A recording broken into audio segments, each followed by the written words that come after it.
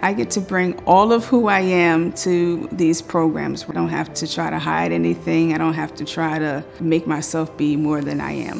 You can be authentically you.